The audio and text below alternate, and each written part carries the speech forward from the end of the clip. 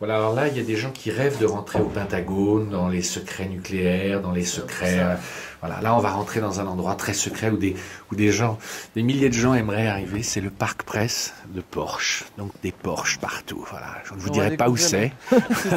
quelque part dans Paris. C'est, à des, c'est très, à une profondeur de, de plusieurs centaines de mètres. C'est, gardé comme un, comme un bunker. Et là, donc, on voit des, des Panamera, on voit des, des, des 911, des, des Caïmans, des Boxster.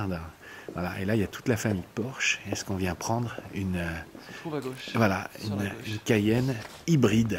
Donc, euh, version euh, à la fois euh, essence électrique. C'est une première hein, chez vous, Dominique. oui. hein, c'est le premier Ouais. du genre. En, en deux mots techniques, moteur, essence, c'est quoi C'est un moteur full hybride et qui Ouais. full hybride, la voiture peut rouler uniquement en électrique. Donc il y a les mild hybrides où c'est forcément Ouais. le moteur thermique qui est en route. Là c'est un full hybride jusqu'à 60 km/h en électrique en théorie, donc il faut accélérer quand même doucement hein, Ouais, parce que c'est un moteur de 47 chevaux en électrique. Mais quand on joue un peu avec dans En Paris, ville, ouais, tu euh, peux t'amuser à voir, glisser on euh, peut très bien doucement. y arriver. À stabiliser la vitesse, à rouler en zéro consommation. Il y a un petit écran à l'intérieur qui vous indique justement sur votre trajet combien de temps vous avez roulé en zéro émission. D'accord, d'accord. Et le moteur essence, c'est quoi là-dessus C'est un le- 6 cylindres de D'accord. 330 chevaux. donc, euh, une vraie Porsche quand même en termes d'accélération. Et ce qui est intéressant, c'est l'association entre un moteur électrique qui a beaucoup de couple à bas régime et un moteur thermique et essence 6 cylindres qui a plus de couple à haut régime. Donc d'associer les deux, ça donne plus de couple sur l'ensemble de la Oui, parce que l'électrique peut arriver aussi en renfort dans les phases Ouais, d'accélération, on est d'accord. hein. C'est-à-dire que j'accélère fort, C'est il- soit les il- deux en même temps, soit uniquement l'électrique. il vient donner. euh, je- ouais. C'est sur le frein. Ouais, on démarre.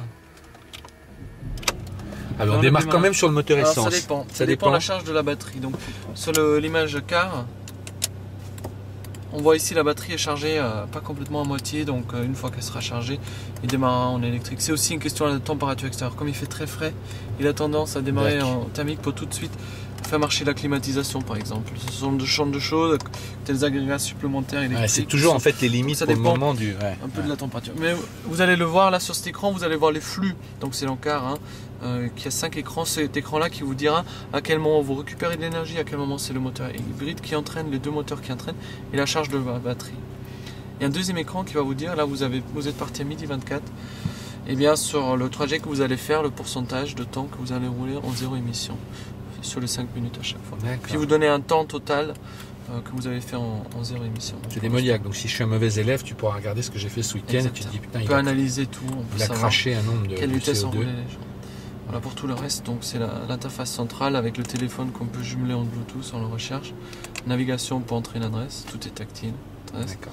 Euh, question pratique, ils annoncent de la neige, je vais en Normandie. Oui, Euh, je suis en 4x4 permanent, je vais Oui. pas me poser de questions. Et il n'y a pas Alors, un mode plus particulièrement non, non, si non, jamais. non, non, euh, non, il est c'est une 4 motrices. J'ai quand même des pneus de, de j'ai pas des pneus neige, donc de toute façon, il faut quand même être. euh, Il faut faire un peu attention. Après, c'est assez sain.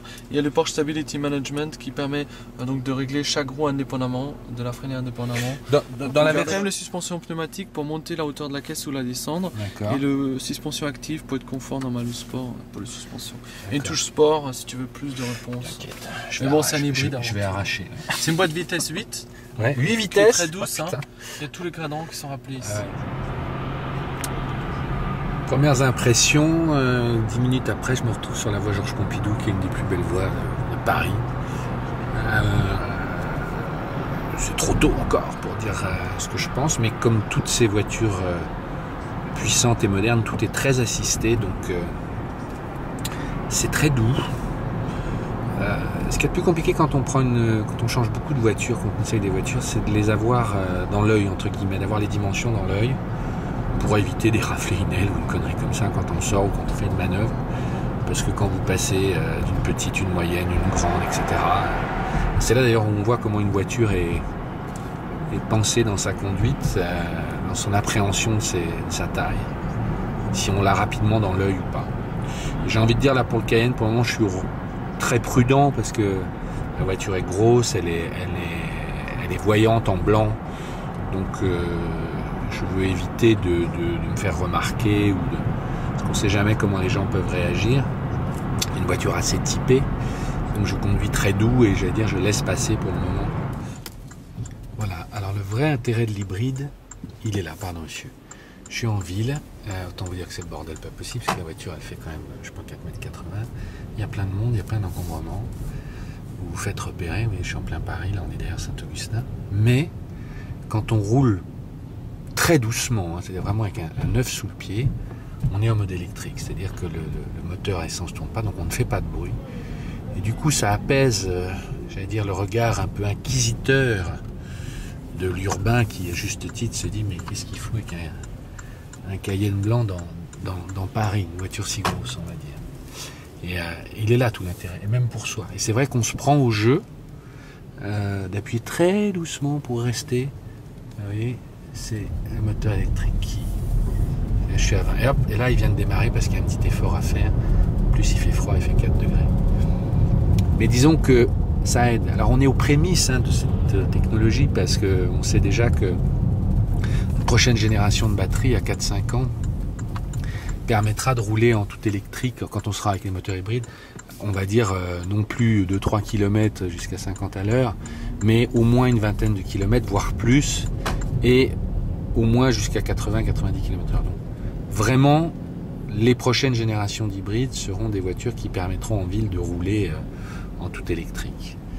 Euh, pendant, pendant une dizaine, une vingtaine de kilomètres, ce qui est largement suffisant la plupart du temps pour faire des, les courses ou ce qu'on a à faire en voiture.